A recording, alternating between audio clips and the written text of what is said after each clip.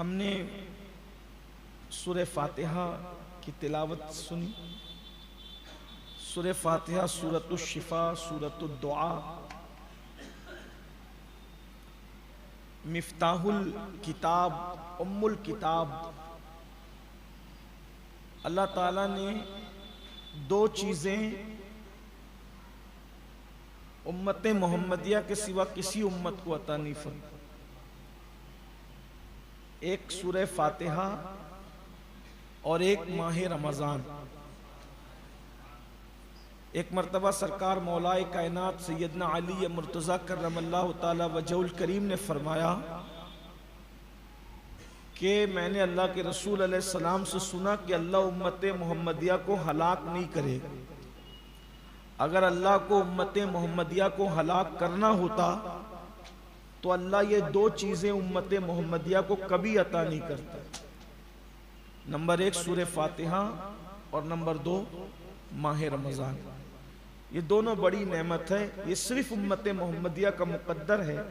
हमसे पहले किसी उम्मत को ये नसीब नहीं हुआ।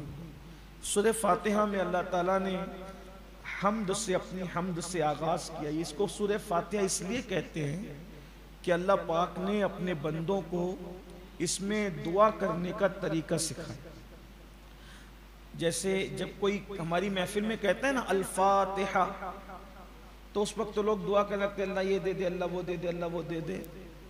अहल सुन्नत में ये जो तरीका है ना, अल्फातिहा तो उसमें आपको सुर फातिहा पढ़नी अब वक्त बचे तो ये दे दे, वो दे दे, वो दे दे।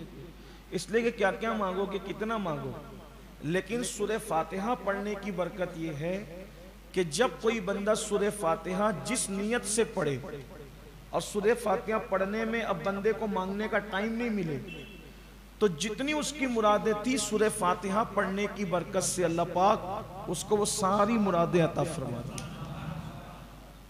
बल्कि सरकार ख्वाजा उस्मान हारूनी तो यहाँ तक फरमाते हैं कि जो सुर फातिहा पढ़ता है, अल्लाह उसको सत्तर अंबिया का सवाब अता फरमाता बड़ी बरकत है इसकी। सूरतुल फातिहा की। तो अल्लाह ताला ने इसमें दुआ सिखाई और ये है इसका आगाज़ है हमद से, अल्हम्दुलिल्लाह रब्बिल यानी कुरान में पहले क्या है? अल्हम्दुलिल्लाह कई वजूहत में से सबसे बड़ी वजह यह भी हो सकती है कि जब हज़रत आदम सलाम के अंदर रूह डाली तो सबसे पहले रूह आपकी नाक में गई। रूह आपकी, जब भी कोई चीज़ नाक में जाती है तो आदमी को छींक। आती हमेशा याद आप नहीं कभी बचपने में कोई बच्चे शरारत करते हैं तो कुछ शरारत के तौर पे नाक में कुछ डालते हैं। तो नाक में डालते हैं तो छींक। आती धूल जाए या कोई चीज़ चली जाए, जैसे लोग तंबाकू वगैरह भूनते हैं, घरों के अंदर हमारे यहाँ तो छींक। आती तो नाक में जब रू गई तो छींक आई। और छींक आई तो हज़रत आदम सलाम ने छींका। और छींका तो जो सबसे पहले आपकी जबान से निकला, वो अल्हम्दुलिल्लाह यानी इंसान ने सबसे पहली जो बात कही वो अल्हम्दुलिल्लाह बड़ी बरकत है इसीलिए छींक हमेशा जिंदों को आती। आप कहेंगे जमाई भी तो जिंदों को आती। एक बात याद रखना, नींद जो है वो मौत की छोटी बहन है। नींद में कभी छींक नहीं आएगी। अगर किसी बंदे को पहचानना है कि ये सो रहा है कि जाग रहा है तो ये देख लेना कि उसको छींक आ रही कि नहीं। छींक अगर नहीं आई समझना सो। और अगर छींक आ गई, समझो नहीं सो। इसलिए कि छींक ज़िंदगी की अलामत। और मौत की छोटी बहन है, नींद। इसलिए सोते वाले को कभी छींक अच्छा छींक पर अल्हम्दुलिल्लाह क्यों कहते हैं?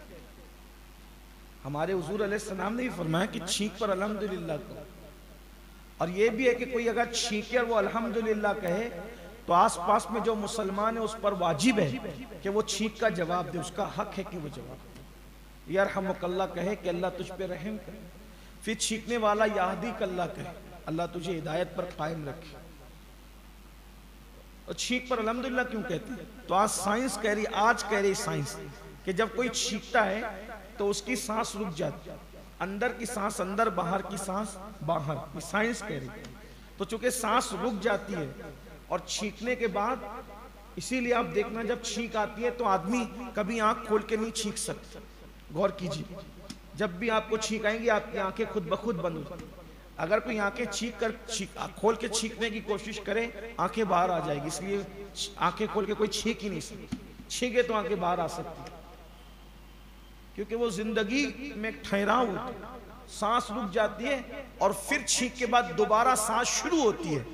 तो गोया कि वो शुक्र है, अल्हम्दुलिल्लाह। नई ज़िंदगी मिली छींक के बाद। इसलिए वो अल्हम्दुलिल्लाह।